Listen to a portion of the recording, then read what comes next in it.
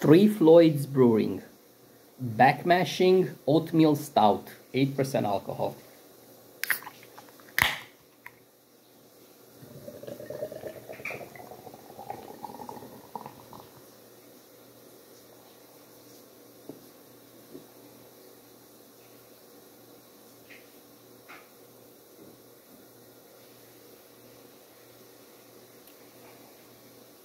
Seven point one.